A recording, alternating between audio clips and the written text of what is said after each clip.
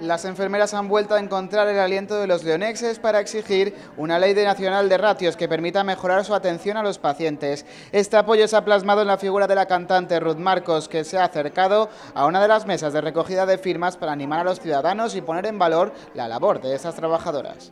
Siempre con una sonrisa, siempre, además, siempre con muchísima, muchísima gente enferma, por desgracia, y ellos nunca les falta una palabra de aliento para los enfermos. Entonces la reivindicación me parece totalmente justa, porque no se puede atender. Cinco enfermeras no pueden atender a mil personas, obviamente.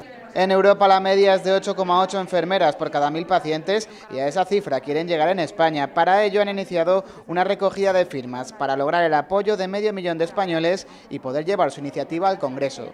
La gente dice que es una reivindicación muy justa y que, bueno, que lograremos seguramente el objetivo. Como sabéis, luego con esta medio millón de firmas lo que se hace es una iniciativa legislativa popular, se debe debatir en el Congreso de los Diputados. Esperamos que todos los partidos políticos respalden esta iniciativa.